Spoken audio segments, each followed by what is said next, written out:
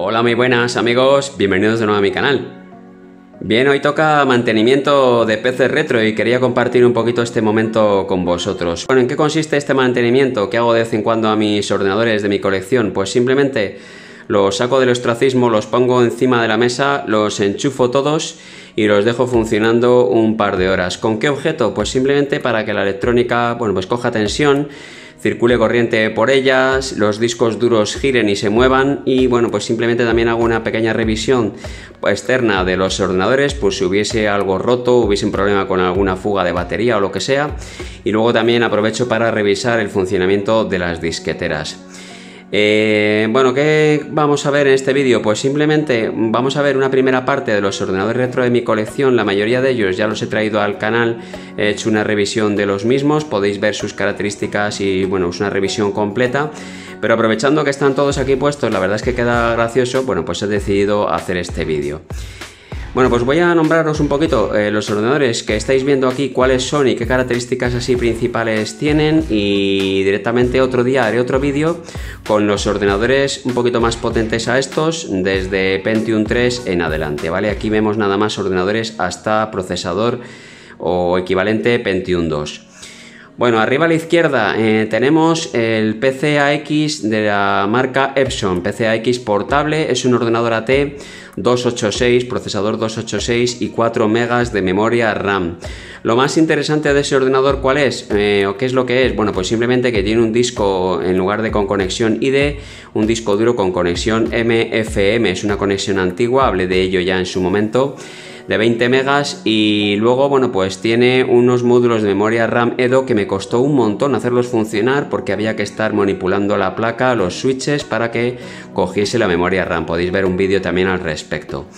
Bueno, arriba en el centro y a la derecha tenemos dos ordenadores muy parecidos, son dos Toshiba satélite Llevan procesadores también muy parecidos, el de la izquierda o el del centro más bien. Es un Toshiba Satellite T2100 con una pantalla monocromo y bueno, pues un procesador 486 DX2, tiene unidad de disquete no tiene CD-ROM, ¿vale? Simplemente es un ordenador muy antiguo que no tiene, bueno, pues unidad de CD-ROM.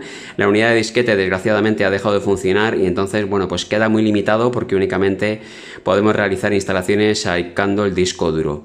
Bueno, en la derecha tenemos un Toshiba Satélite 19CS, le pasa exactamente lo mismo que al otro con el tema de la disquetera, estos ordenadores tenían disqueteras muy, bueno, pues muy malas, vamos a decir de mala calidad o que se estropeaban con el tiempo, son muy difíciles de reparar porque realmente habría que buscar una del mismo modelo comprando un ordenador parecido que va a tener también un montón de años, son ordenadores de principios de los años 90, claro, tienen 30 años las disqueteras y muchas veces dejan de funcionar, ¿vale?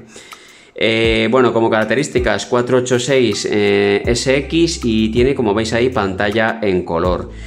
¿Qué más tenemos por aquí abajo? Abajo a la izquierda tenemos un compact, ahí lo estáis viendo, de color crema LTE 5000, un procesador Pentium 75 MHz. Lo más curioso de ese PC, ya lo vimos en su vídeo de revisión, es que tiene una disquetera y un CD-ROM modular que se pueden cambiar y bueno, podemos poner uno u otro según convenga. Luego tenemos ahí dos peces muy pequeñitos, ahí lo veis que son dos Toshiba eh, Libreto, son una gama de Toshiba que sacó de PCs o mini PCs muy pequeñitos dedicados a la portabilidad. Estos son, bueno, pues de la gama, vamos a decir, más alta. Son iguales, ¿vale? Aunque parezca mentira, bueno, pues uno, evidentemente, lo que sí que se aprecia ahí es que la pantalla luce más, el que está más cerca y el que está más ahí, más en el fondo, bueno, pues luce un poquito menos, tiene un fallo, vamos a decir, en la iluminación de la pantalla.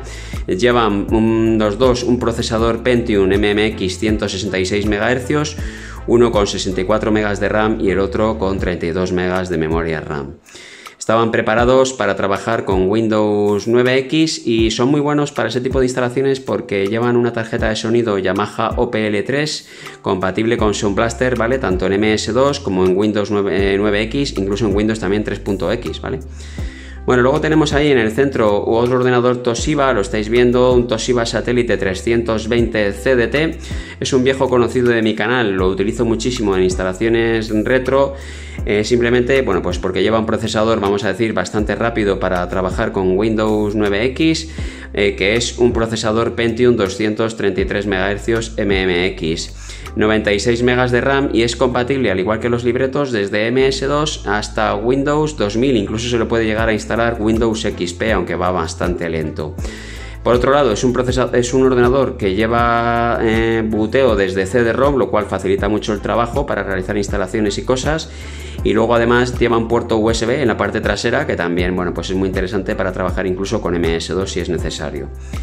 Bueno, a la derecha tenemos en negro el último ordenador que vamos a ver hoy es un HP eh, Omnibook de modelo EX2 y bueno, es un PC que todavía realmente no he traído al canal, ni siquiera he llegado a realizar un mantenimiento mínimo porque lo he comprado y según estado lo he comprado, pues así lo tengo ahí puesto, ¿vale? No he hecho, bueno, pues ninguna limpieza, ni he cambiado pasta térmica, ni he revisado el disco duro si funciona o está correcto o no.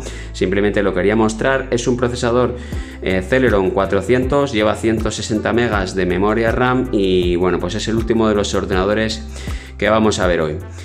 Pues nada, aquí los dejo en mantenimiento durante un par de horas a remojo como los garbanzos y nada, pues a ver si todo funciona correctamente y os traeré una segunda parte de este vídeo con ordenadores desde Pentium 3 hasta pues, procesadores Core 2 Duo que son los otros que tengo en mi colección, un poquito más modernos. Pues un saludo y hasta el próximo vídeo.